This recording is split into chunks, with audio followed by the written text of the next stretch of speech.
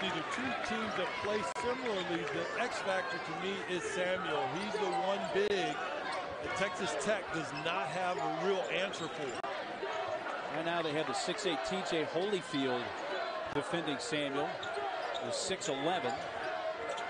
And as you alluded to, Lance, the other side of that is the defensive end for Samuel, who will be matched up against a smaller player. Payne with one on the shot clock.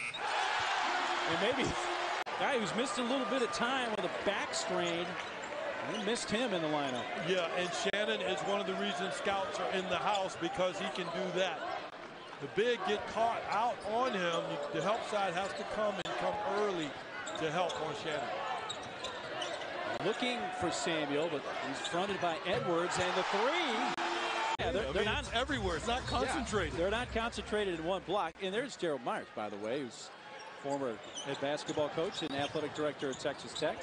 I had the honor of talking to Coach Myers before. We were just talking about Chris Beard and the, I mean, Coach Myers helped set the foundation for what you're seeing here now at Texas Tech, the longtime coach. Spent so many like Chicago. I mean, this is a national brand now. Texas Tech is. And Oklahoma State. Yeah, doing well as in addition to that, getting the younger brother of one of their assistants, Cannon, was a five-star recruit to help out their class. That's on the deck. Wow. Back to Farabello. I'm not in range. Good job getting Moretti open and a poor job TCU getting over the screen. Offensive rebound, third of the game for Kevin Samuel.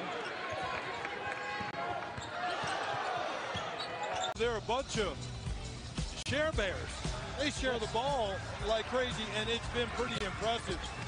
Again, as we see Clarke with the Mahomes-ish pass, and then, of course, Ramsey cutting. If you cut...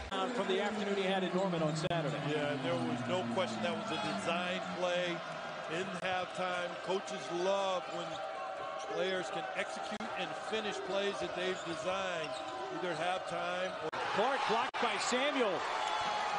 With a sense of urgency from everyone, even the closeout. The last one was exceptional on Samuel. Dennis's three was short, didn't hit. Cleared space, ran into McCullar, and gets the bucket. Yeah, McCullar couldn't stay in front of him and hold his position. Plays more like a big.